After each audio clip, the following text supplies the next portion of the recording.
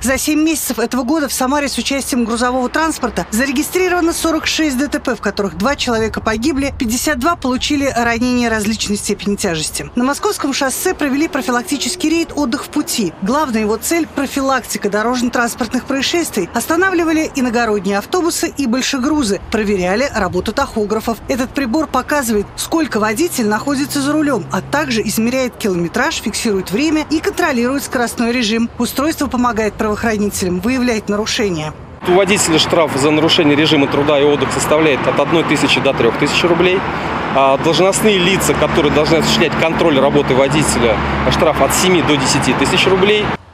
При проведении рейда полицейские обращали внимание водителей на то, что по дорогам нельзя передвигаться без остановки на отдых. Он должен составлять 2-4 часа. А также рекомендовали избегать агрессивного стиля вождения. Павел Горбатов за рулем более 20 лет. Едет с Магнитогорска, везет продукты в Самару. Рассказывает, что как только устает, сразу останавливается и отдыхает. Спальник, кровать, разбираешься, ложишься, спишь. Шторки есть, чтобы закрыться и никто, так скажем, не тревожил сон.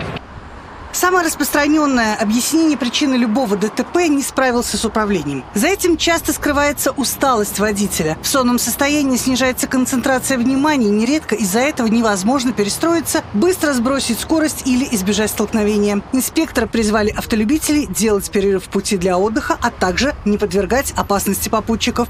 Елена Чернявская, Николай Сидоров. События.